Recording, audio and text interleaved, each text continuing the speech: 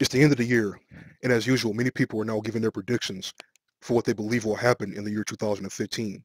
Gas prices are as low as it's been since 2008, and as many have pointed out, the economy collapsed a short time afterwards, when the rug was pulled from under our feet, when people lost their homes and jobs were lost, a downward cycle that apparently occurs every seven years since the last Great Depression. I don't necessarily care to make videos about economics and politics because it's not really that important to me on the grand scheme of prophecy. I don't need to look at tons of reports to tell me what's going to happen because my God has already told me what will happen in the Bible, that everything we could possibly imagine could go wrong will go wrong and get worse. The Bible refers to this as the birth pains of the fourth kingdom, as the four horsemen wreak havoc. And I keep it this simple when it comes to the hell that will and is breaking loose across the globe. This video was made to make a connection I don't really see being made anywhere else. This is for those who believe that a number of false flag operations of some type are in the works for 2015. I don't get all hung up over what type of event they may have planned for us like I used to before I started making videos over a year ago. But recently, the media hype machine about cyber attacks has gotten my attention because this is something that many people, including me, have experienced firsthand in many different ways. There are websites out there cataloging the many different cyber attacks that have occurred over the last few years, and there were an estimated 32 attacks within this last month alone, the apparent attack on Sony included.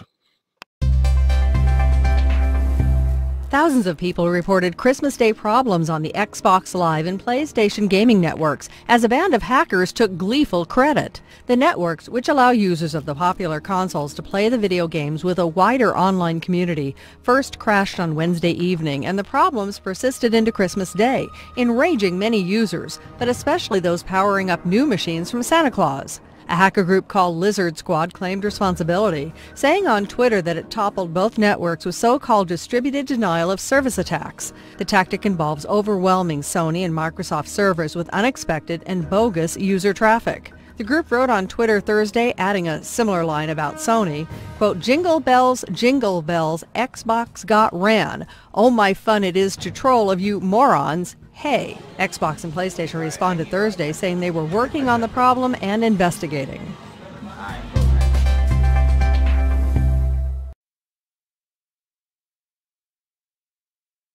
Personally, I think the mere idea that a government will give a rat's ass about how their leader is portrayed in a foreign movie is ridiculous.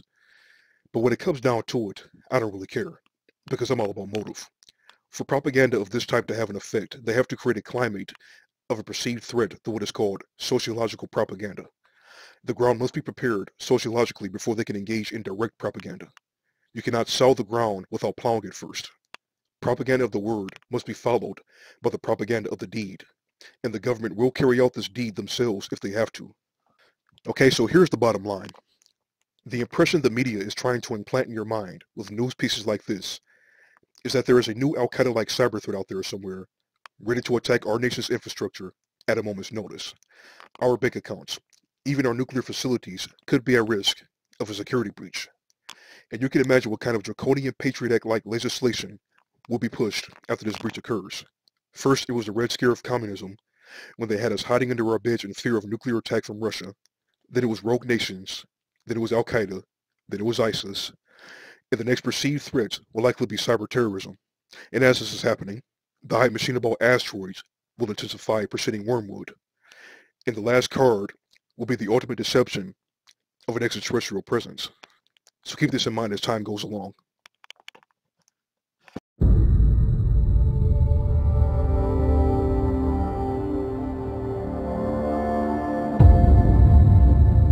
The moment you connect, you lose control. I can target anyone, anything, anywhere. They're moving the money. No fingerprints, no trace. No mercy.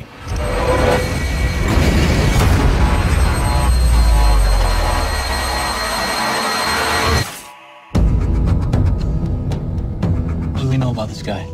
cyber criminal blew a reactor at Chai Wan, and that's just what we know about? To catch this guy, we're gonna need a black hat hacker named Hathaway. He's a genius coder serving 15 years. If you want my assistance, I want you to commute my sentence. You have any idea how much progress you're gonna make on a strike this complex without someone like me? Zero. This isn't a negotiation. Well, I just made one. This is the code section right here. It looks incomplete. He's still writing, but what for? The guy we're working will take out a city and not think twice about it. Don't evoke 9-11 on me. China,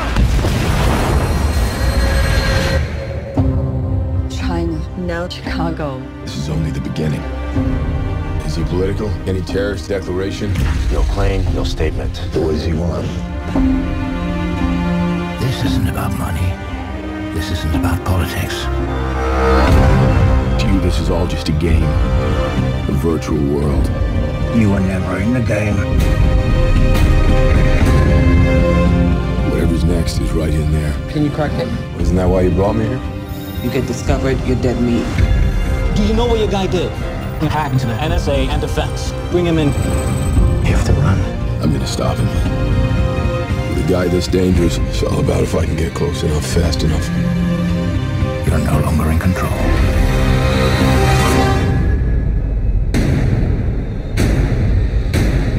The real hit is still to come.